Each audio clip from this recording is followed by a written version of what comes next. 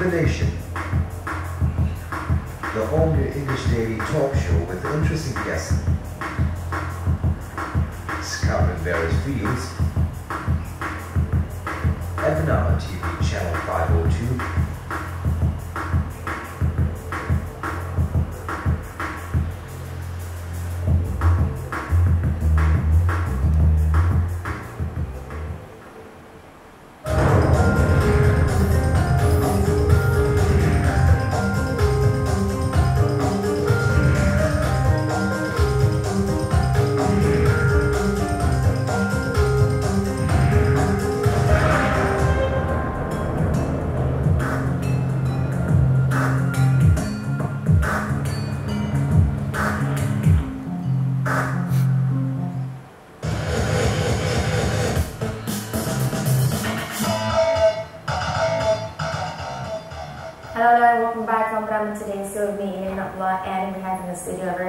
We're speaking to Si Jie Loo. She is what uh, is described as a world music percussionist as well as a visual artist and she of course explores the experiences of dance and rhythm through lines and colors. We'll be able to see some of her work in a short while. But let's talk to Si Jie first. Hello and welcome Si Jie. How are you doing today? Good. It's fantastic to have you in the studio. I've seen some of the stuff that you've done. We've seen some pictures of uh, your work.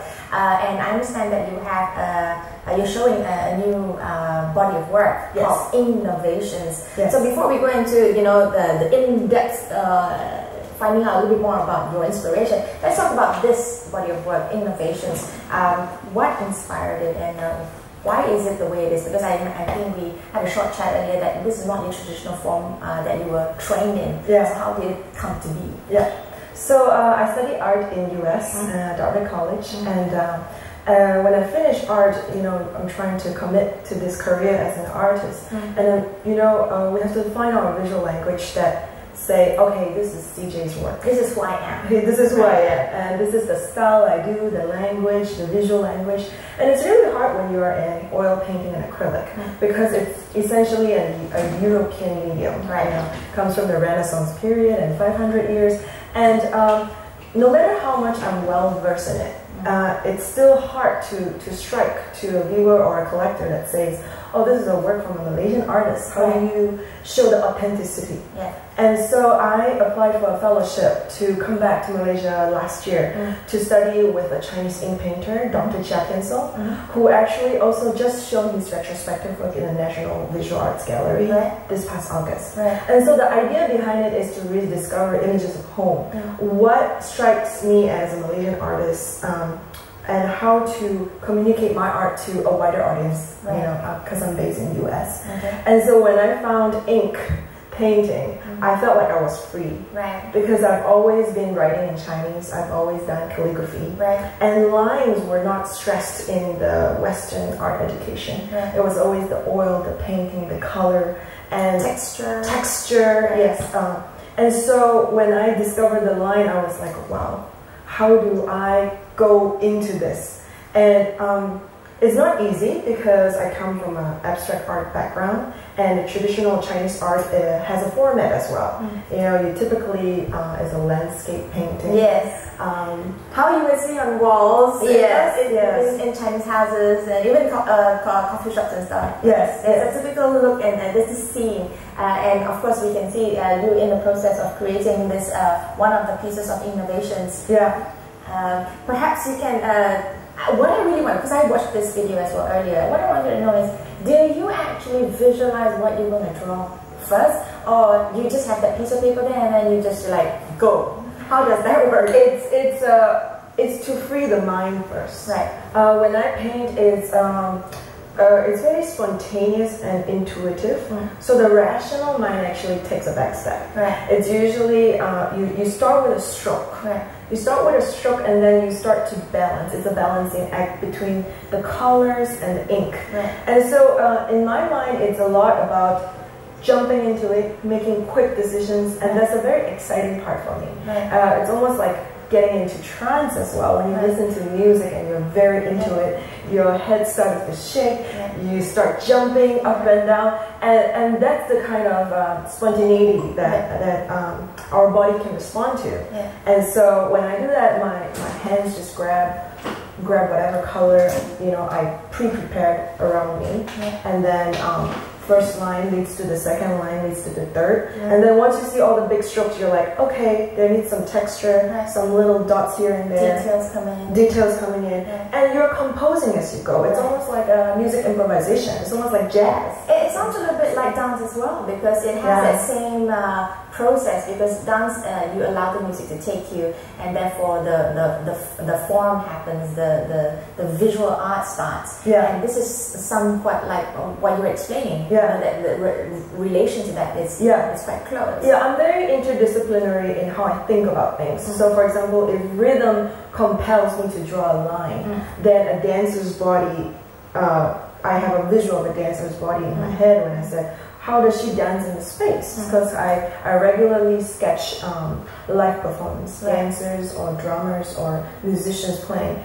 I like to catch whatever line I see at that moment. So being in that time frame of uh, a performance is very important to my painting as right. well because I finish all in one go. Right. I don't wait. I mean, I might do some editing afterwards, right. but that would be the rational mind coming in already. Yeah. yeah. So you avoid that as much as possible. You want it to be a true interpretation of yeah. that moment in time. That moment in time. Right. Okay. So. Uh, can is, is this a process that can be repeated or is it something that um, there is because body of works usually have the whole it's like a flow of things like when you're in that moment there's a, a, a whole scheme of things that sort of form so does that mm -hmm. happen for your uh, work I think the method repeats the method that is a spontaneous process right. repeats right. and there's a rational mind after that to edit little things um, it and then after that you find some some verse or poem to to complement the painting. Mm-hmm. It's it's still within uh, the traditional uh, format of Chinese ink painting, mm-hmm. but there's no one painting that is the same because there's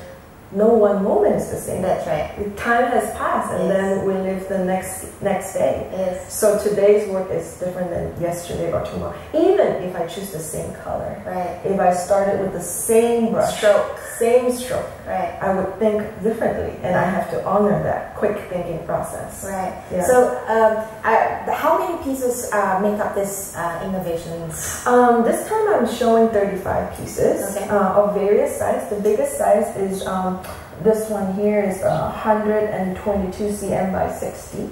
All right, what we're seeing right now uh, is uh, from uh, another body of work, correct? Yes, that was from uh, Rhythmic Impressions. That was uh, 2014 March. And this looks like it's acrylic, yes? Yes, acrylic. Acrylic on paper. Right. And this is more uh, honoring the rhythm right. and the texture in the acrylic paint. Okay. Yeah, this one here is more honoring the line and the ink that is very flat. Right, because uh, it, it, uh, it's like that paper, that Chinese mm -hmm. calligraphy paper as well. It yeah. has, that, has that look and feel and that, that texture as well. Yeah, and it's very water based. Right. And so you have to understand water really well, mm -hmm. how the ink uh, mixed with the water, mixed with the color. Mm -hmm. And, and, and that's, in a way, it's, it's a quicker process because mm-hmm. because water you know, if you want to do wet on wet, it dries out. Yeah, it dries out. Well, acrylic, you, you kind of you can change you can, it. Yes, right. you can change. You can actually scrape it off as well. Right. So yeah. does it really reflect as well? I mean, uh, this just uh, came to me like uh,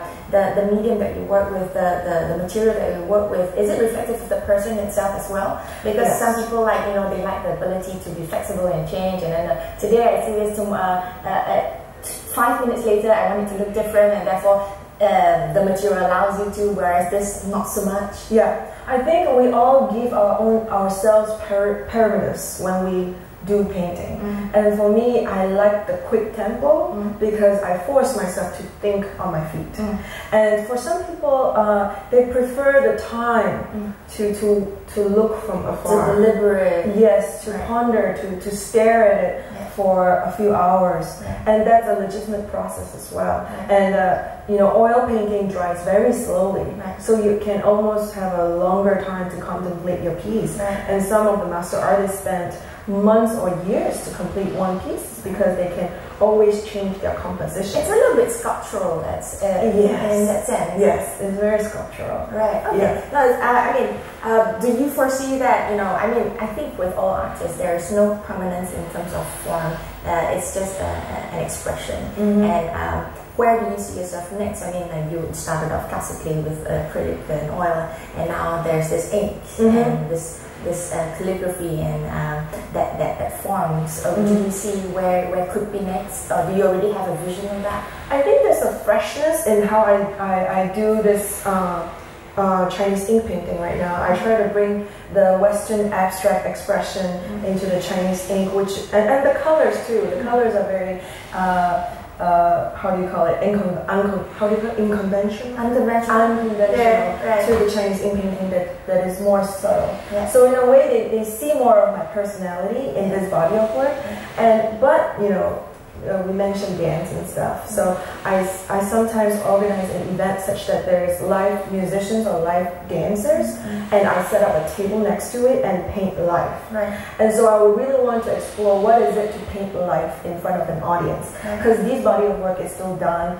You know, that one piece is recorded on a, vi- uh, a video, but the others are still uh, done in solitary in my own studio. Right. So what is it to be um, uh, standing or surrounded by viewers and dancers uh, at the same time, and then I do my painting? A lot of people say that I will be stressed out. Yeah. Uh, there will be a lot of pressure. Yeah. But I, my own argument is that when you are in it Yeah. and when you're on stage performing, even though there are thousands of people, you still lose yourself in it. Right. You still get to be yourself and being almost entranced in your own world Right. performing.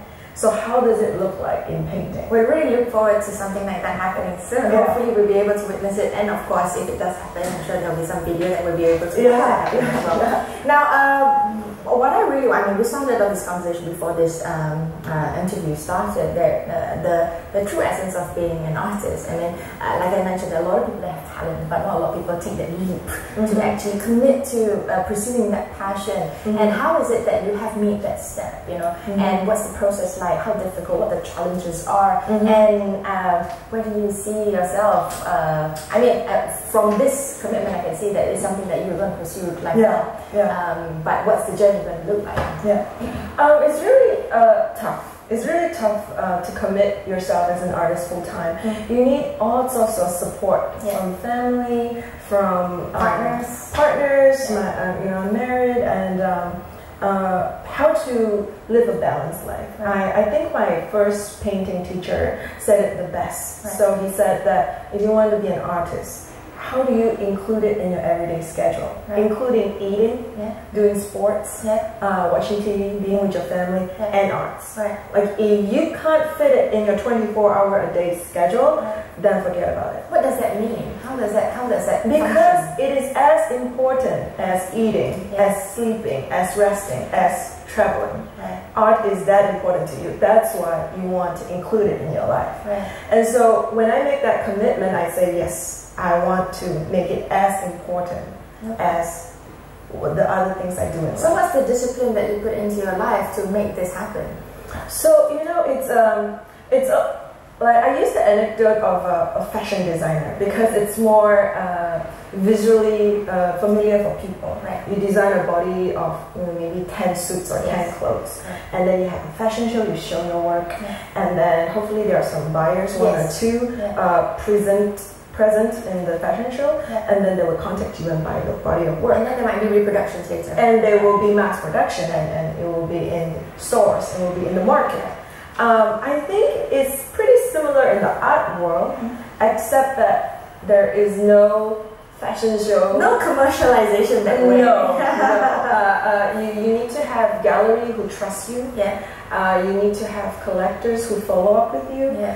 I, I have a mentor who told me uh, you have to call a collector 12 times before they finally make a, a, sale. Right. And, and so there's all these uh, mentors advising me Right. what it's like to be in the market of art. Right. And, uh, and uh, how many people attend an art show? Right. How many among them are, are truly interested in, in, in buying? Right. And so if I think too much about that, I wouldn't produce uh, the work that truly uh, authentic for me. Right. Yes, because there's a whole different business behind it, just like just like a fashion designer. But there's also the very uh, essence of me that I really want to put out in the world and Yeah. really want to inspire people. Something that you're proud of. And we yeah. saw the whole body of work that uh, will be shown uh, during Inknovations. And tell us about what's happening here. It's uh, happening on the 21st of November. So uh, the opening reception is 21st of November. It's a Saturday at 3 o'clock. Yeah. And the place is in uh, Art Gallery. All right. That's um, at Jalan Sultan? Jalan Sultan Complex Selangor. Right. It's on the first floor. Okay. And um, uh, uh, the opening guest will be my own mentor, my teacher who I've learned from, Dr. Cheah Thien Soong, right. and the other artist, Dr. Foo Yong Kong. Okay, and if you want to find out a little bit more about Si Jie, there's the website www.cjwu.com. Uh, all the information is there, there's videos, uh, you want to contact. If you find that any of the art inspires you and you're inter interested to buy or show or place it on your wall, yeah it's, it's time to support our artists uh, yes. because I think a lot of people do not understand the importance of art in community and in culture. Perhaps you would like to share your views and thoughts on that as a closing statement. Um, I think we art art is very honest. Yeah. It's it's an uh, we try to be very honest, yeah. and so it's almost another word from reality. Mm. And uh, when it almost becomes cheapens mm. if you always talk about commercializing right. or, or, or, selling. Yeah. Uh, the truest essence of art is really about the soul yeah. and about, for me, it's about the human spirit yeah. that that really unites us all uh, in the world. Exactly. It really knows no boundaries, exactly. no language even. It's just visual and uh, no no race or no nationality. And that's what I really enjoy being that because I connected to artists from different countries and world and we still speak the same thing from the heart. And so uh, I really invite people to learn how to explore, see that yeah. in, in art.